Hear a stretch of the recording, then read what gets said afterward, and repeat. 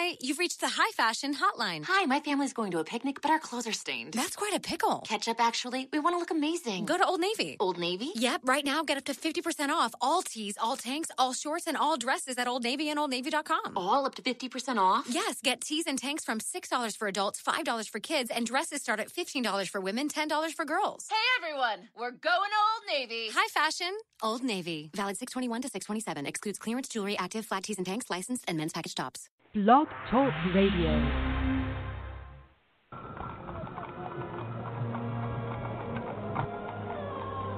The year 1888.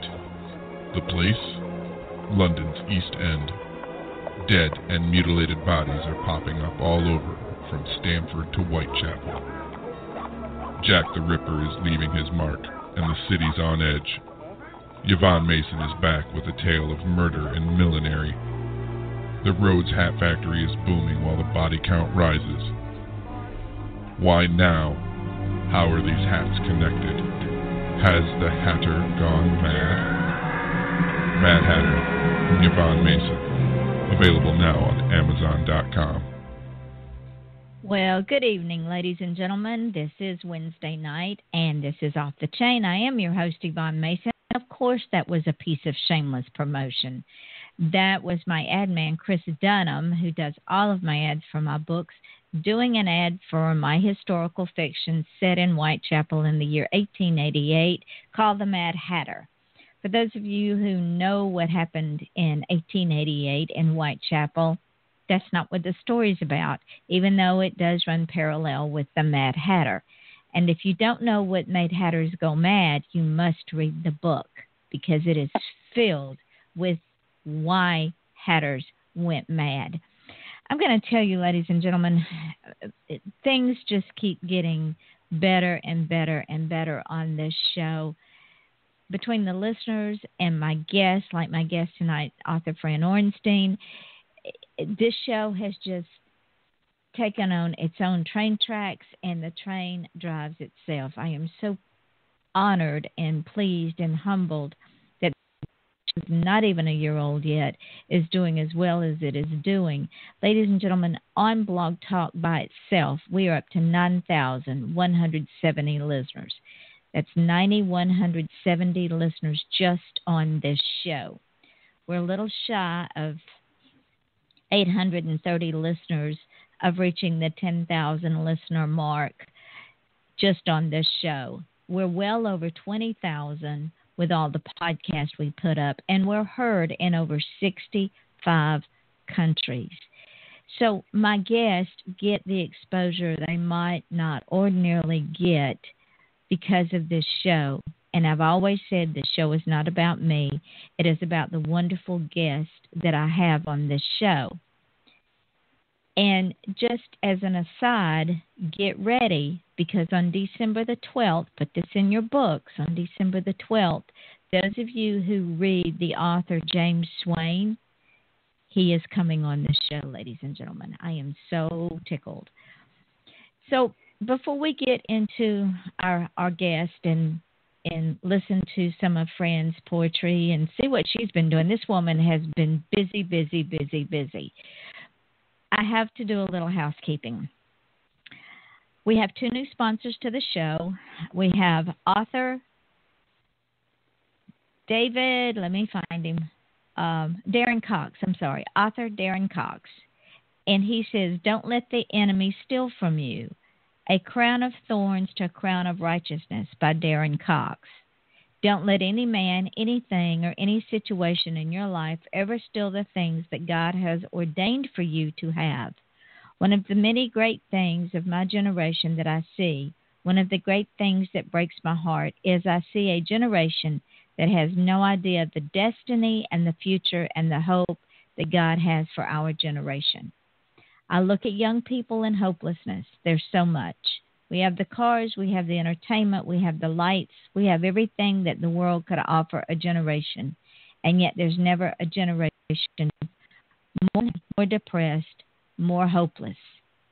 Order today an ebook or paperback on Amazon or wherever books are sold, and it is called Don't let the enemy steal from you A Crown of Thorns to a Crown of Righteousness by author Darren Cox. And then we also want to welcome author Diane Moat.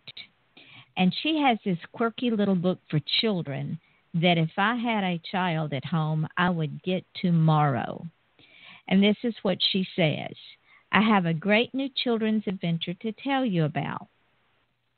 Pepper Neal pet sits magical animals, and the first of the series, The Supernatural Pet Sitter, The Magic Thief, someone begins stealing the magic from Pepper's animal friends. She has to find the magic thief before the magic thief finds her. The Supernatural Pet Sitter by Diane Moat is now available on Amazon as an ebook or paperback. So plan ahead so you can entertain the kids on a long car trip or as we have been having in Florida and Fran has been having in Georgia and as they are now having in Alabama, Texas, and Louisiana, a rainy summer day. That's the Supernatural Pet Sitter by Diane Moat. Get it on Amazon today. And I just want to give a shout out to our friends in Texas, Alabama, Louisiana, and the panhandle of Florida. Our thoughts and prayers are with you during this really, really bad tropical storm that is coming with tornadoes, ladies and gentlemen. So please add them to your prayer list or your good thoughts. Now, on to tonight's show. I'm so excited. I've been waiting on this for a minute. author author Fran Orenstein has been with me before, and the last time she was with me, she lived in Arizona. She has now moved to Georgia, and we are bringing her back. She is the founder of Sunwriter, a multifaceted writing project. She is an award winning poet and writer. She wrote her first poem at age eight, submitted a short story to a magazine at 12 years old, and she continued to write professionally and academically and is the published author of fiction novels for children, tweens, teens, and adults, and she also has poetry for adults and teens.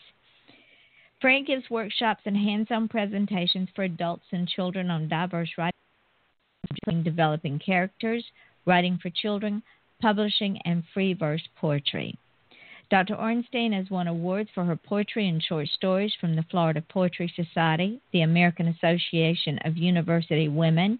She has been a member of a number of national and local organizations, including Sisters in Crime, National League of American Pen Women, the Florida and Arizona Poets Society, the Society of Children's Book Writers and Illustrators, writing newsletters for several of these groups. Boyfriend, honey, you make me tired. Welcome. I'm tired listening to you. so tell me, my friend, what have you been up to besides moving clear across the country? Oh, for the 85th time, you mean? well, I actually uh, have a book coming out soon. It's the fourth book in my kids' mis- in my tween mystery series, the Shadow Boy Mysteries. And this book four is coming out as soon as we decide that uh, the cover is okay. I have a wonderful oh, you... publisher who lets me let lets me see the covers. Miracle of miracles. Uh, yeah, that's true because most publishers say, "Here's the cover, deal with it." I know. anyway, um, thank you. That was a very lovely introduction. Hi, everybody. This is Fran Orenstein. I'm well, really you, here. Um, yeah, you really are here. You are, in fact, ladies and gentlemen, she is closer to me than she has been. She moved from the beautiful state of Arizona to the beautiful state, my home state of Georgia, and since she's been there, I think she's gone from getting a driver's license for a car to getting a driver's license for a boat. Would that be a boat? No. Yeah, because of all the I don't flooding. go on the water. no, I come up because of all the rain and all the flooding. Oh, you mean a raft? Yes. No. Yes. No. actually, the flooding yesterday was so bad up here um, because we're getting the remnants of, of every storm that comes through. Uh, mm-hmm. It was up to people's waists lines in part of the perimeter around um Georgia, around Atlanta. And cars, they showed pictures. Cars, the water was up to their windows. It was really, really bad. So they oh, had to do a lot of yeah, they had to do a That- lot of uh, evacuations for people at work. Oh goodness gracious. Yeah, Well, crazy. let let's let's go back in time a little bit because people don't understand that that us as artists this is not something that we just one day jump into. Like you wrote your poem at age 8 what made you write that poem? Why did you write it? And what did you learn from writing it at age eight? I mean, that's a young age to be writing poetry. Well, I actually started writing prose at seven. I had them all. My mother, I didn't even know had saved them, and when I moved, I went through every bin I had and found that she had saved it. I used to make these little books and staple them together, these tiny books with little stories in them. Um, I read Bambi, and I loved the book Bambi. I just the story just was amazing to me, and I was inspired to write a poem about the book. Wow. Yes, and that's what I did. So um don't ask me to get it out because I can't. The bin is the bin is not accessible at the moment. Let's put it that but, way. but but the fact that reading Bambi and for those of you who have never read Bambi or seen the movie, it's it's a story about life and for some of the younger generation they might say, well, it's too cruel. No, it's not too cruel because it is about life. And for for Fran, for you to be that young and love the book because it, it, it talks about life and death and hope and moving forward to write a poem based on that just it blows me away Um, yeah, I mean, the thing I love most in the world is reading. I mean, I've always, since I could read, I guess I was about four, four and a half, or something like that. Um, I lived in the library. My mother was a reader, and so we went to the library at least three times a week. And uh, you know, when I couldn't even pronounce words, you know, I tried to pick out the books by the uh, pictures. And uh, so uh, it was like a natural progression. My mother also was a storyteller. Um, I don't really remember her reading a lot of books to me. She used to tell me stories, so she would take take one of the fairy tales and she'd change it around completely. So it was a whole different story. And um she loved she was a storyteller. So, I, I so guess you, never, you never got ahead. bored with fairy tales because she changed them Right, right, exactly. So, um, so that was, I guess, my my um, my inspiration to to write, and I just always loved writing. I mean, I as a kid and- even as an adult, I did I dabbled in all the arts, you know, painting and and music and and writing, and just uh, the writing just came very easy to me. Um, so I set aside a lot of the the other things, particularly the art, and uh, I still do music, but um, I loved writing, and uh, I just was so inspired. It was almost as though somebody, something was in my brain saying, "Oh, that's a great idea. Run with it," you know. so I have I have this whole um, this whole folder on my computer that uh, is just filled with ideas. i understand that i have i have folders that have nothing in them but a title Okay. Yeah.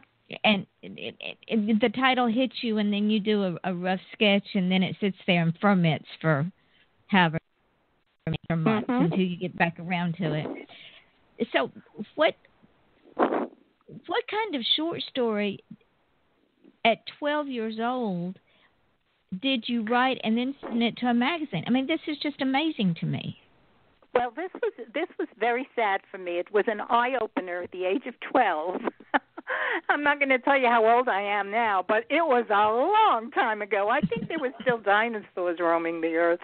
Anyway, I um I wrote a story about a little a girl. She was she was graduating from junior high school, and she they were too poor for her to get a dress for graduation. And I named the poem. I named the story. I'm sorry, the white dress, and it was how she came to get a white dress to wear for graduation from junior high school. And I I liked it. I didn't even tell my my my fa- my parents. I didn't tell anybody I was doing this. I sent it to McCall magazine simply because my mother subscribed to it and it had all these short stories in them.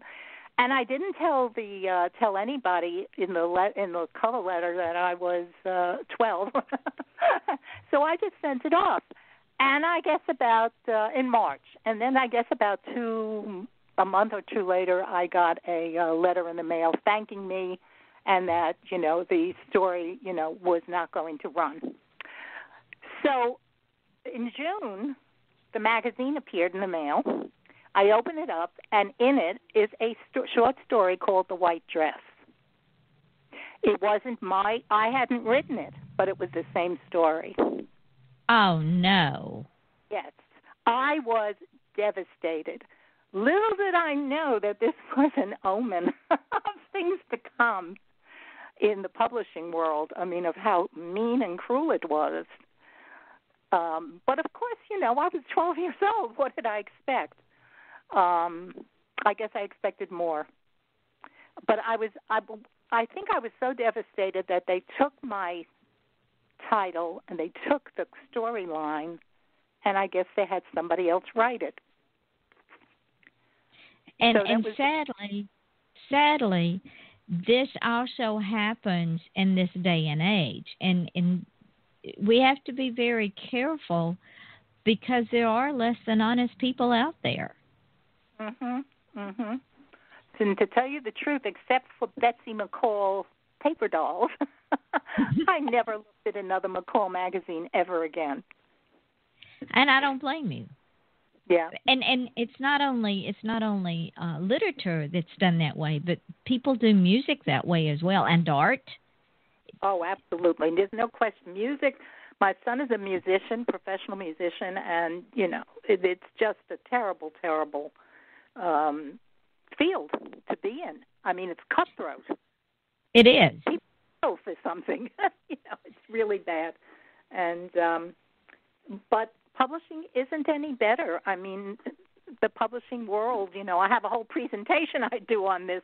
I don't like to Mhm. discourage writers and I tell them, you know, but look elsewhere too to be published. It doesn't have to be with one of the big 5 in New York. That is the truth. Because the the big five, big six has been telling us what to read for over two hundred years, and now I Mhm. think they're getting a little bit scared because they can't tell us what to read anymore. Yep. Because there's so many of us out there that are saying, "Here we are, we're offering an alternative reading," and the big sixes. In fact, my husband and I were talking about this today. Some of the authors that he's loved for years. He says, Yvonne, their writing has gotten horrible. He says, There's oh, no I've doubt. stopped reading a lot of those authors. I get I'm so disappointed Uh, because it's well, so write wrote now, or somebody's writing it for them. I don't know. Well, we know James Patterson has people writing for him, and a lot of you know I've gone to conferences where I've met authors who do the writing for some of these very famous authors. and what makes it so sad is is the big six is pushing these these traditional authors to put out books every three four months to to keep them out there and ladies and gentlemen what happens is the story has no depth the characters have no dimension and the the plot line is very very weak at best and it's it's sad because some of these authors have been around forever and wrote great books. Hmm Yes, and and I like character driven books because there's just so many ways you can plot a plot. Yes. Uh, it, it it it's not infinite, but there are but people are so amazing. Um, you can you can just just write just so, so the character stands out. Mhm. And what's happened with a lot of these um, books and the authors is that their characters no longer can be developed. No, and and they become bland in the book. You could go from the first page to the last page and know exactly what happened without reading the middle. Mhm. Mhm. And you don't they don't draw the reader into the book anymore and and you and I both know that if you can't put the reader inside of a story, then you've re- literally wasted that reader's time. Because if Mhm. they finish a book and they feel unfulfilled at, for not being able to be part of that story, that's sad. Yes. Yeah, definitely. And But and sad. that new authors- Go ahead. I said there were always new authors coming through, not necessarily authors with these the big five or six, but there are good authors out there, and I know a number of them. There are very Yes. good authors. they there are good and and so ladies and gentlemen this is what this show is offering you is an alternative if you're tired of reading the same if you can pick up five books from one traditionally published author pick up five books and you look at those five books nine times out of ten and fran correct me if i'm wrong nine times out of ten if you read the synopsis the only thing that is going to be changed are the names and maybe the location. The plot line's going to be the same. The character uh, personality is going to be the same. The uh, location may or may not be. It, it may have a different name, but it will it will have the same atmosphere about it. And you could take that one book, read that one book, and know what the other four are about. Would that be a correct statement, Fran? Pretty much so now. So, no, I've been back reading authors that I really like, like their first books with a with a particular character that they run ten, twenty books through, you know, over the Mhm. on that. And the first book is usually the best book. The first Exactly. is better than than the current ones. It's like they get bored with it. Yes. Yeah, and they're just so throwing something out there. Right. Well, So- back to uh So let's go back to indie authors and Fran in particular, because the reason that we bring this up, things that y'all might not know about Fran is she was a teacher, a magazine editor writer, a counselor. She managed women and children's programs, including child care, violence prevention, gender equ- equ- I can't pr- talk tonight. Equity. Equality, equity. Thank you. My tongue's tied. And disabilities, and was an officer with the New Jersey AmeriCorps. Fran presented workshops and papers at national and international conferences, wrote and managed grants, created, edited, and wrote numerous newsletters for government and community organizations, political speeches, promotional materials. Not only that, ladies and gentlemen, but she's got a bachelor's degree in early childhood education, a master's degree in counseling psychology, a doctorate degree in child and youth studies. And the reason I bring this up is the burning question, and I know the answer, but the audience may not. The burning question is with all of this under your belt, has it helped you be able to write children, tweens, and teen books in a different perspective than someone who just sits down and writes a children's book who's never been into the psychic of a, of a child? Yes, as a matter of fact, all of my books have, well, particularly the um, the tween books, they all have the main characters have an issue that they have to deal with. Um, in in the in Fat Girls from Outer Space, which is a standalone book about uh, about girls growing up, becoming you know adoles- pre-adolescents into adolescents. Um, the the issue is body image. The issue is is bullying in school. The issue is new friendships and losing old friendships. Dealing with your parents' divorce. There's so much going on in this book, and it's how the the main character and her new friends deal with these uh, some of these issues and overcome it themselves. That's the whole trick of writing for children. They have to overcome whatever it is themselves. You can have adults there, and you can have adults in the background. Think of think of Peanuts with the Yep. adult voice in the background. That's the adult's voice. They don't have any real part in it. The kids solve everything themselves. So by doing this, you're you're bringing up an issue. You're having the kid deal with it and solve it in some way without any without parental dis, um, input and without preaching, because that's the big deal with with books for kids. Yes. Never preach. They'll never read it. and and they but they have to be able to see the life even if it's fiction they have to be able to see how that character handled the things that were going on in their life and then translate it to their own life and be able to make conscious positive decisions Yes. And and Freddie in Fat Girls is is fat.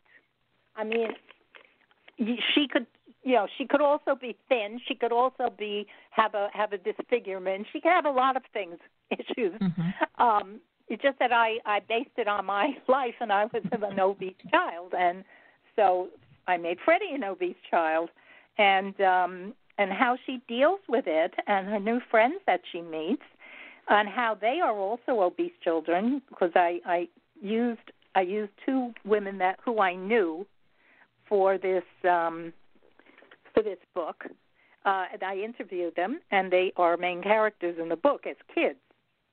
Um, but to just give you a, an idea, I have just two very fast poems that I wrote for the book. oh book. absolutely First one's called Just a Piece of Glass.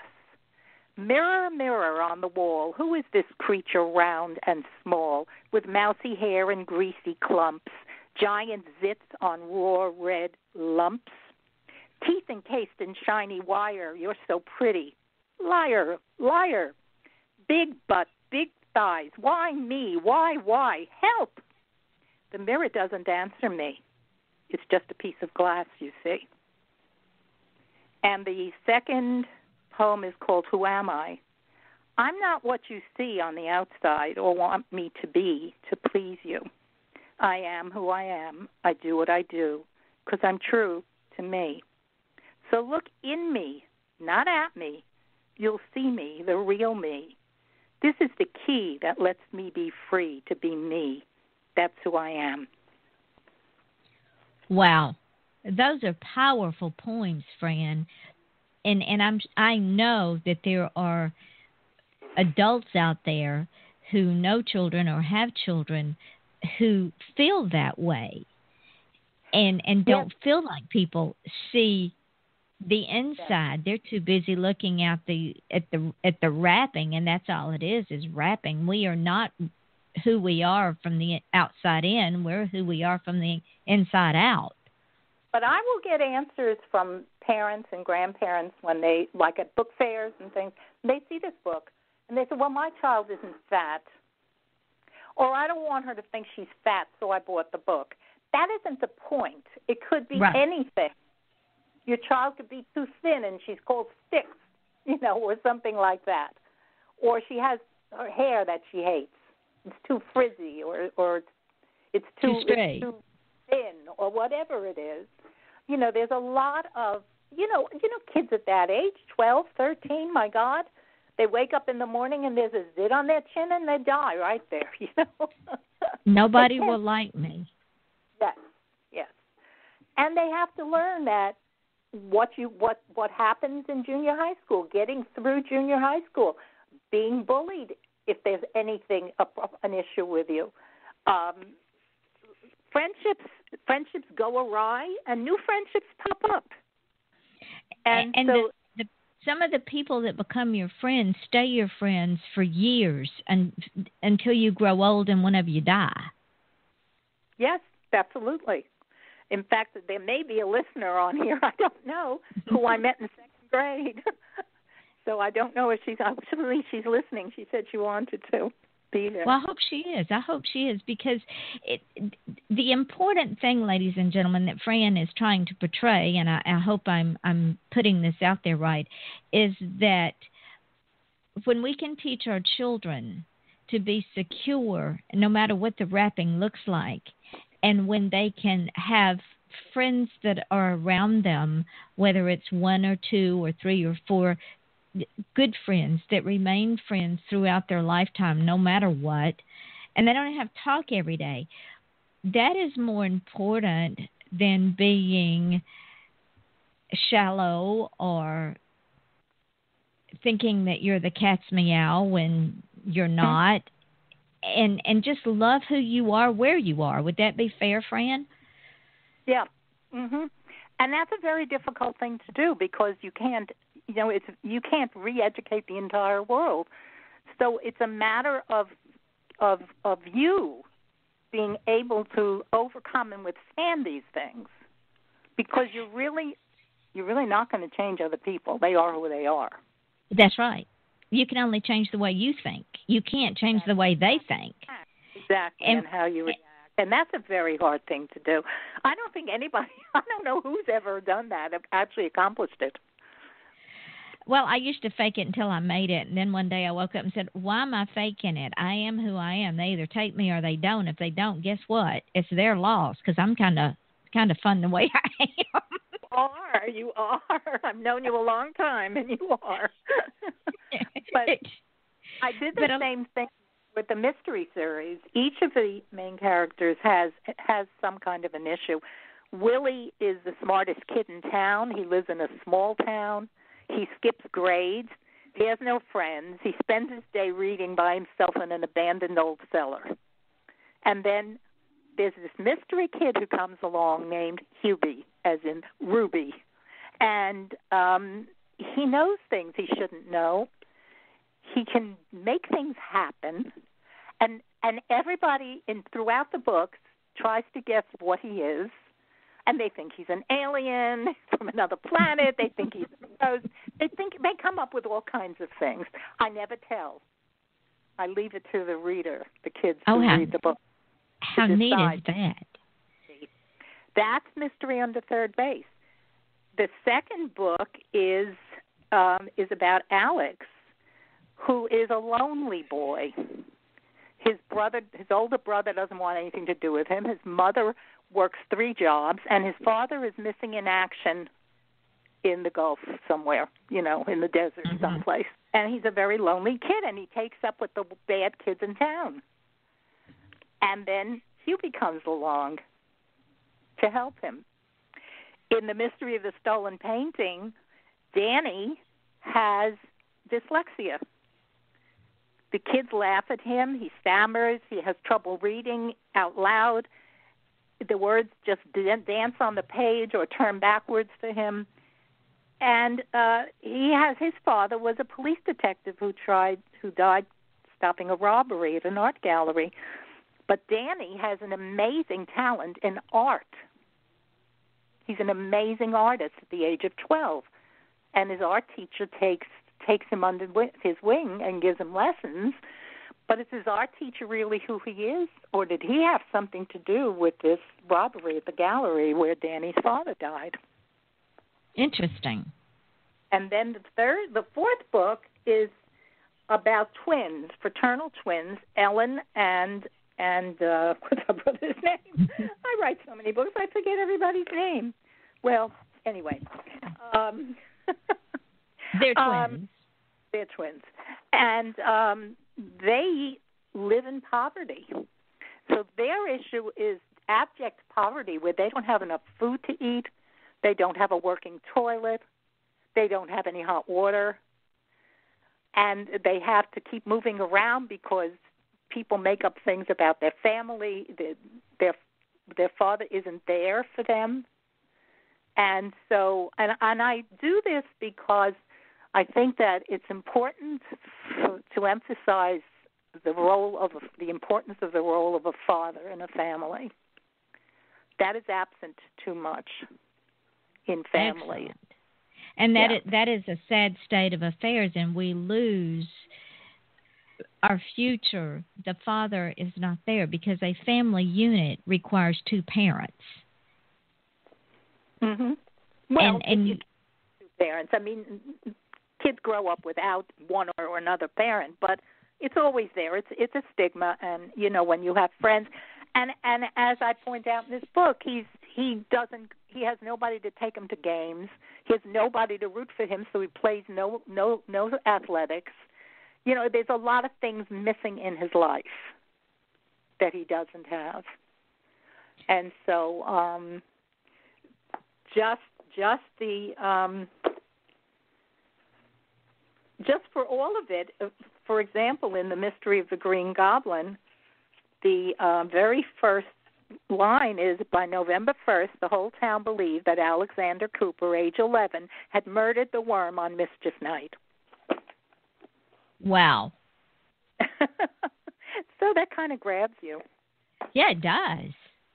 Now you also you also have written poetry books for women. Now now ladies pay particular attention to this because I have not personally read these books, but what I have read about these two books, I think we could all as women relate to the poetry in these books and to learn from them.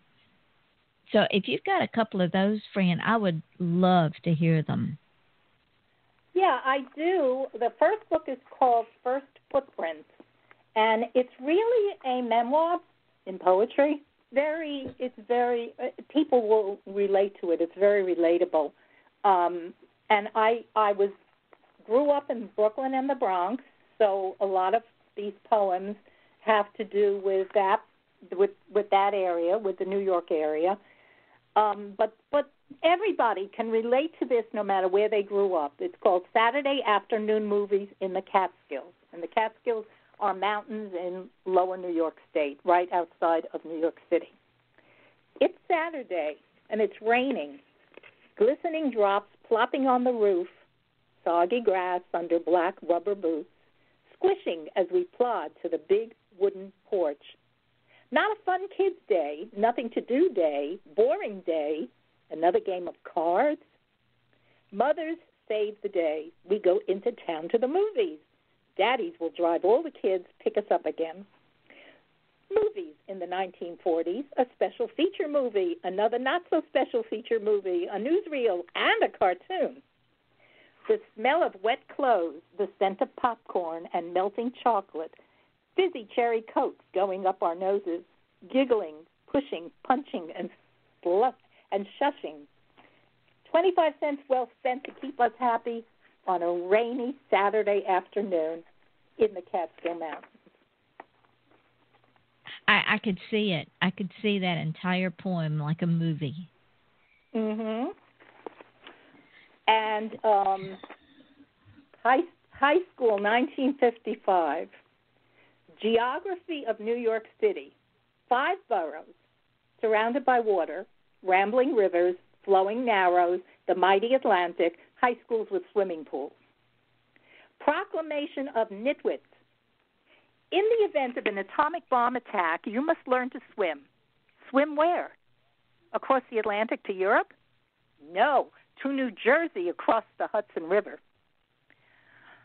Either Miss Swim Teacher Extraordinaire, enter Miss Swim Teacher Extraordinaire, 100 years old, if it clothed in a long black swim dress, white hair tightly bunned, wrinkles stretched across pale, bony features, moving in slow motion.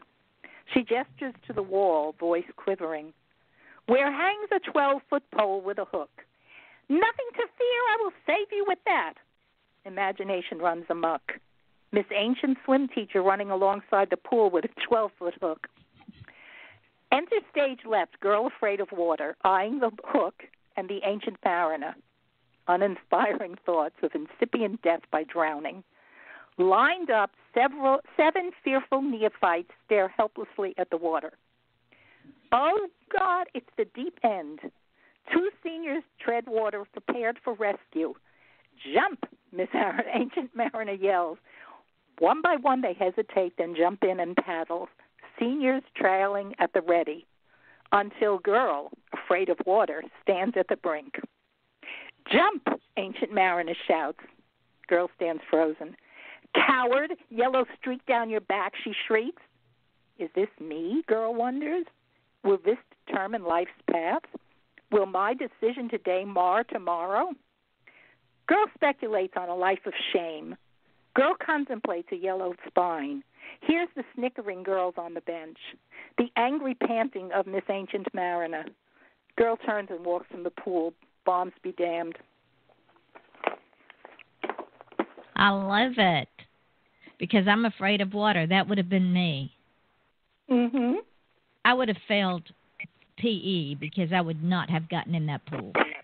Well, I had to get a doctor's note saying I couldn't go into anything that water in it. No.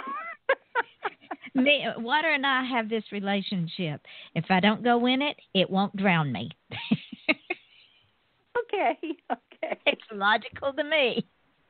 Now, you also have a series called The Shadow Boy Mysteries, right? That's the one I was I was telling you about. That's the one I was just talking about before. Uh, okay. The, the, there's a fourth book that you've got coming out on that one, right? Yes. Um, Tell us a little bit about that one. It's called The Mystery in Graham's Attic, and it's about twins who are live in abject poverty. I told I, I mentioned yeah. that. Right. Yeah, and I, I can read a little bit from it if you wish. I mean, that I would be the, yeah, that would be lovely. Okay, chapter one: Snoots and Rotten Apples. The hot Arizona sun beat down on Ellen Barron, roasting her like a turkey in the oven, except they didn't have an oven or a turkey. She sat alone on the grass, her back against the stone wall surrounding the middle school yard. Ellen tried to shrivel into the stone, hoping for some coolness and maybe disappear into the wall. She felt a tickle on the back of her neck and slapped at whatever flying critter wanted to bite. Ellen looked at her hand, but it was clean. She shook her head, but the tickle kept on tickling, so she pushed her hair aside and scratched. Finally, she gave up and figured a mosquito had already bitten her and flown away. Bloodsucker. And then I'm going to skip to the snoots. So hold on. So you'll know what okay. the snoots are. Interesting. Okay. She then she she she looked off into the distance and watched girls practice flips for the tryout for next year's cheerleader squad. A few brave members of the squad of the marching band tootled on their wind instruments under the shady overhang of the building. Ellen saw Kinsey Taylor tilt the saxophone so it glinted off the sun. It should have been her saxophone, but they couldn't afford to rent it, so Kinsey played it instead. Ellen wiped away the tear that dripped over her eyelid. She hated Kinsey for that, but it was wrong because it wasn't Kinsey's fault that her father could pay for it. Ellen hadn't seen her father in five years because just after their second seventh birthday, he went away and didn't come back. She and Troy didn't know why, so there wasn't anyone to blame. She pushed down the anger and squashed it under her toe until she didn't feel it anymore. Then she heard the low voices and giggles, just loud enough for her to hear. She refused to turn toward the sound because she heard her name and knew it was the Snoots. That was the name she gave them, Snoots, the snobby, rich, mean girls, the pretty ones on the cheerleading squad, prancing around in their red and white short skirts, giggling at the boys on the football team. Maris, Jennifer, Zoe, and Cindy, the girls she wished would disappear forever. Did you see her hair? I don't think she ever washes it, Cindy said. Maris nodded. Probably smells like wet dog. Zoe shrugged. It doesn't matter because nobody would get close enough to smell it. Did you see that shirt she's wearing? Looks like she pulled it right out of the dirty laundry. Ella Jennifer rolled her eyes. Probably doesn't have a washing machine, Maris said. Maybe she washes it in the toilet, Zoe giggled. I don't think they even have a toilet. I heard they use a latrine, whatever that is, Jennifer said. It's like a hole in the ground with a toilet seat, Zoe explained. Ugh, I might just throw up my lunch, Cindy said. Use the lunch bag and get off the blanket, Maris said. They all laughed.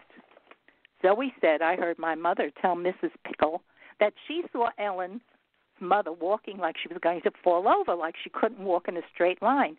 Maybe she's a lush, whatever that is, Zoe said. I think it's somebody who drinks a lot, Cindy said. Oh, you mean like that dirty old man with the paper bag who sleeps in the alley beside the liquor store? Zoe asked. Cindy nodded and then looked around and whispered, I think her father's a murderer or something. I heard my mom talking on the phone. What? Maris shrieked. Quiet, Maris, Jennifer said. Ellen's sitting right over there. Maris clapped her hand over her mouth.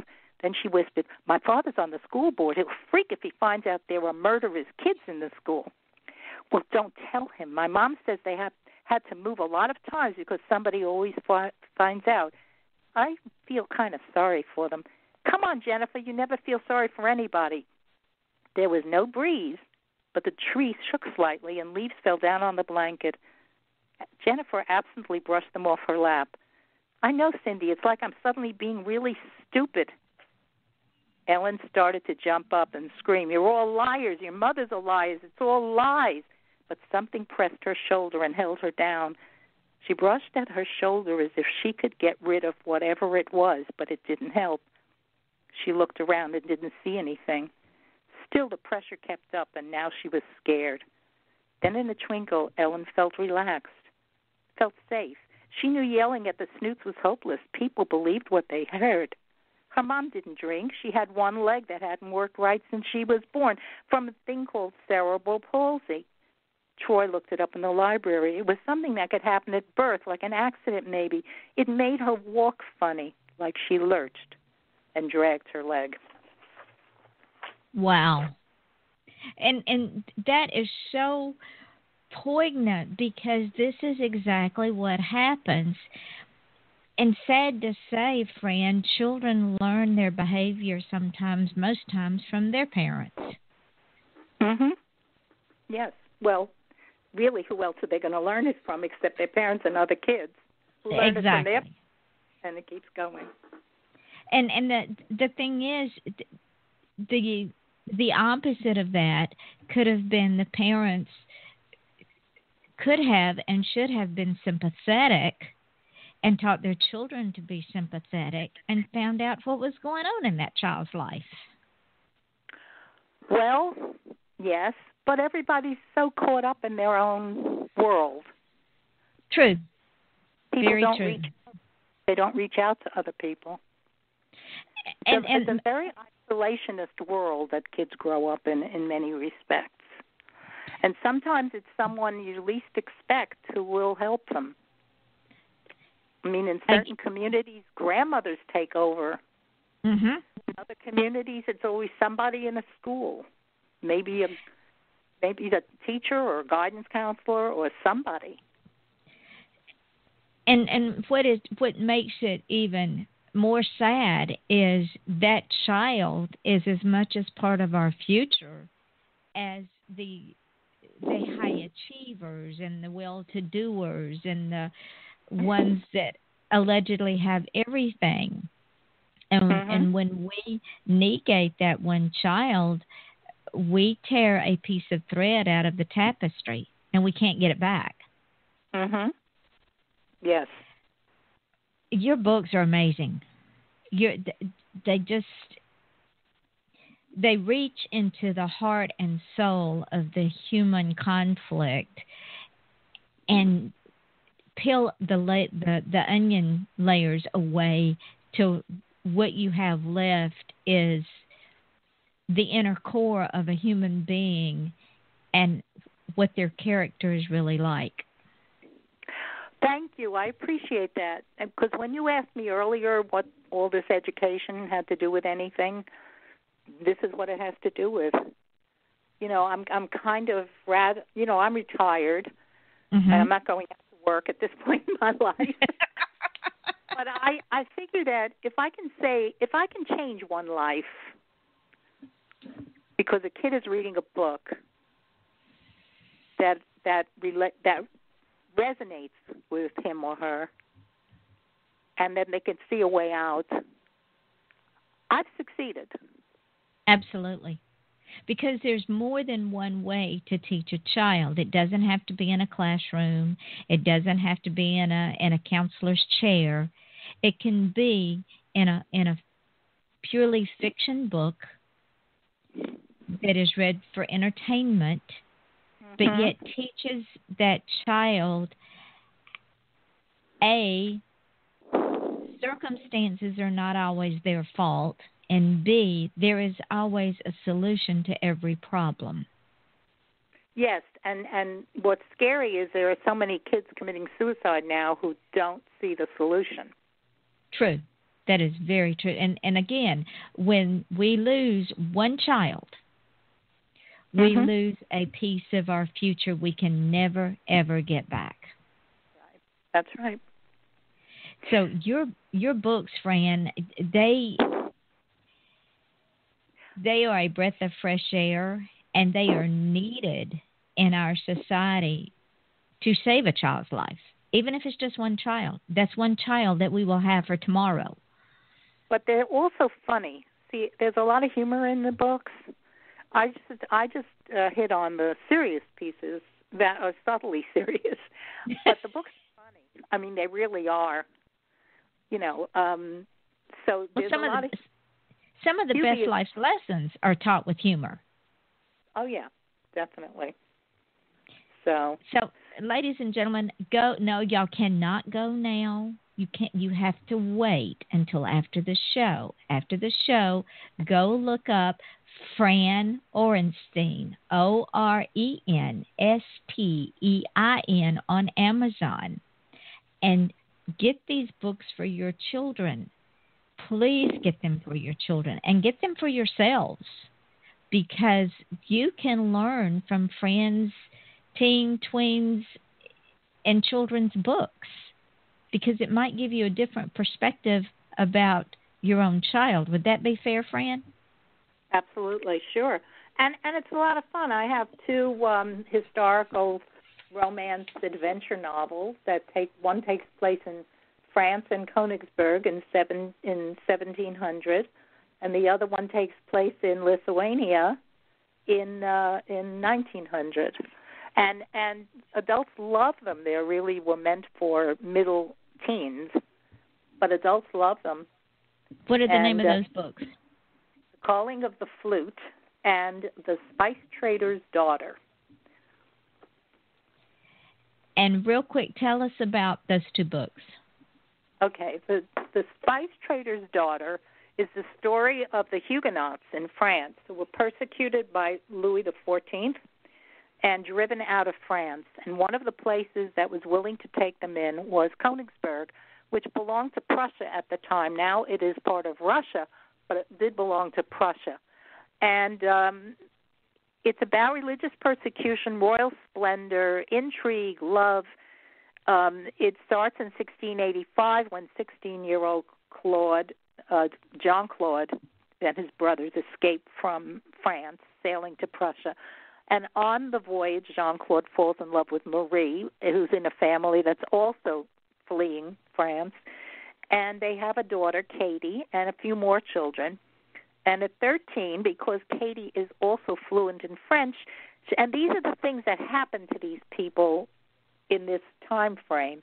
She's sent to be the companion of a spoiled aristocratic Charlotte, daughter of of, of Rush, um, Prussian nobility, and because t- she's going to teach her French so she can marry into French nobility. And um, Katie has uh, Charlotte has a, a brother who is a, a, a real rogue and uh, he's always after Katie and she has to get away from him and he's very dangerous because don't forget she's not nobility she has you know she's on her own she's only 13 years old and she's on her own and um and her father always talked so negatively about King Louis the Fourteenth, and and he didn't. He always warned her, you know, and she was afraid to go to France, and she was terrified. And then then she meets the blacksmith's apprentice and falls in love. And uh, there's a lot of uh, there's intrigue. There's a lot. She does meet the king by accident um, at Versailles, where they go to have the wedding, and um, where Charlotte goes to have her wedding, and uh, and then it's how they have to. Uh, she and her her uh, Katie and and Guy have to uh, flee. They flee across the French countryside, and they get on a Dutch ship headed to New York. And New Rochelle, New York, which is north of New York City in Westchester County, was a haven for the Huguenots. That's where the other place that they would free, flee. Wow. Um, yeah, and that's why it's got a French name, a New Rochelle. Um, so we, believe it or not, Fran, are going to Mhm. run out of time. I know. I wasn't watching the clock. So tell the folks, and you know you're going to have to come back. Now that you're settled in Georgia, you got to come back. So tell Oh. the folks where you tell the folks where you can be found. I'm at www.fran Orenstein, F R A N O R E N S T E I N, and that's my website. I have a lot of things, everything about every book. I'm also on a number of online um, online uh, book sales, like Amazon and Book, um, Barnes and Noble, and other places. And uh, my publishers are the children's books are primarily published by Saguaro Books in Arizona, S A G U A R O. Um, the my other my adult books are published by World Castle Publishing, and my poetry books are the adult poetry books are published by Aquitaine uh, Publishing in also in Arizona. So, um, and they are they are good publishing. You know, they're they're they're they're not the big five or six, but They're good. and I am not a technical person, so I can't do it myself. so, So, ladies, so ladies and gentlemen, go and get her books. And Fran, don't hang up when the show goes dark. Tomorrow night we have on the show, unless they lose power, author Stephanie Osborne and author Dan Hollifield. Remember that storm is coming through, so hopefully Stephanie won't lose power. She lives in Lower Alabama. Hopefully she won't lose power. And then on Friday night, we have author KJ Howe, and on Saturday night, author Kathy Winefield. So join us at 8 o'clock Eastern Daylight Time to learn about these authors and see what they have to say. And as you know, ladies and gentlemen, I always say this at the end of every show. If you want to be successful, stop asking permission. And you don't don't just feel special, be special. And your smile is your logo, your personality is your business card. How you leave others feeling after having an experience with you, you know, ladies and gentlemen, that does become your trademark. I say it over and over and over again. And pretty soon, y'all will believe me because Fran has known me a long, long time. And Fran knows that how I leave others feeling, that is indeed my trademark. And Fran, thank you so much, my darling, for spending an hour with me. And yes, I'm bringing you back. It will probably be January, but I'm bringing you back because I love hearing what you're doing and hearing your poetry. Thank you, Yvonne. I appreciate that very much, and I enjoyed being on your show. You're a wonderful host, as I told you the last time. Well, you make it easy. Okay. you, make it so easy because you're so interesting and your books are just if anybody people go and get her books. I'm telling you just go just go her books read them. So remember tomorrow night at eight o'clock eastern daylight time author stephanie osborne and author and musician dan hollifield. Thursday night author um, KJ Howe, Friday night, author Kathy Winefield. And ladies and gentlemen, please feel free to pass this show along. And if you want to come on the show, get in contact with me at offthechainradio at yahoo.com. And understand that we're all dreamers. Fran and I did not get where we are by saying, I have a dream and then putting it in a corner somewhere. We made our dreams happen and it has not always been an easy boat ride. it gets really turbulent, but we don't stop because when we stop, we fail. Right, Fran? Oh yes, oh yes, we've been through it. yes, we have. So, ladies and gentlemen, thank you for listening.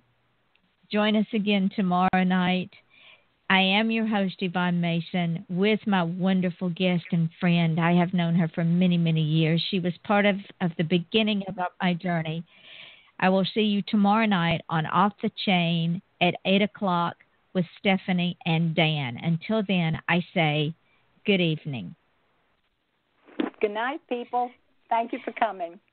So, Fran, my darling, we are now off the air, and I wanted to let you know as soon as I get off the phone with you, I'll get this up in archives and put it on the on the page, and then tag you in it. And then tomorrow morning, I'll put all the podcast up and tag you in it, so that you can put this on your website, pass it over to everybody you know or don't know, or okay. people in strange places, and and use this to promote your books and, and the wonderful person that you are. Ma'am, I'm learning.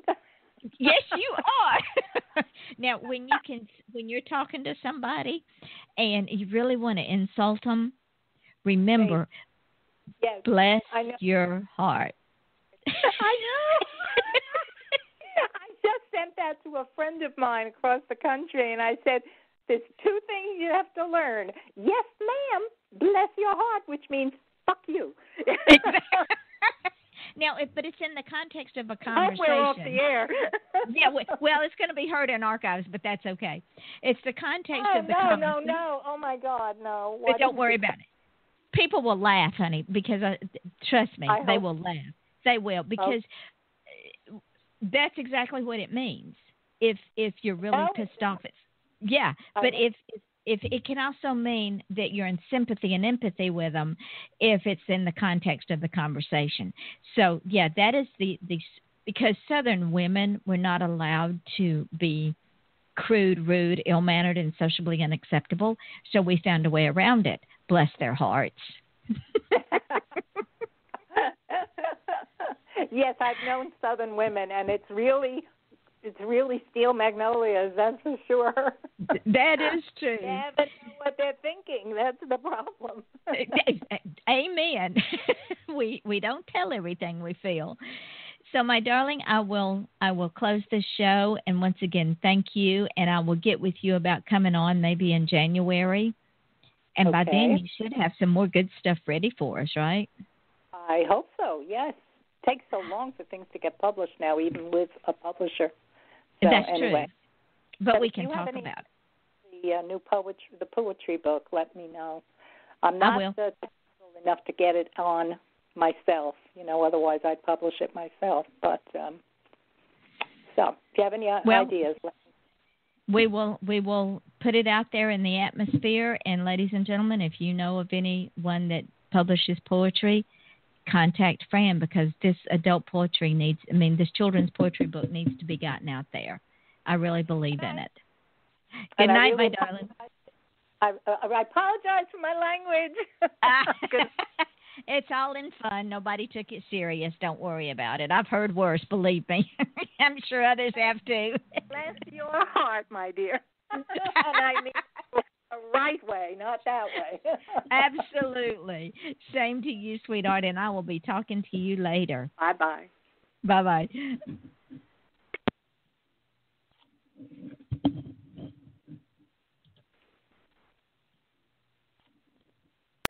Hi, you've reached the high fashion hotline. Hi, my family's going to a picnic, but our clothes are stained. That's quite a pickle. Ketchup, actually. We want to look amazing. Go to Old Navy. Old Navy? Yep, right now get up to 50% off all tees, all tanks, all shorts, and all dresses at Old Navy and Old OldNavy.com. All up to 50% off? Yes, get tees and tanks from $6 for adults, $5 for kids, and dresses start at $15 for women, $10 for girls. Hey everyone, we're going to Old Navy. High fashion, Old Navy. Valid 621 to 627. Excludes clearance jewelry, active, flat tees and tanks, licensed, and men's package tops.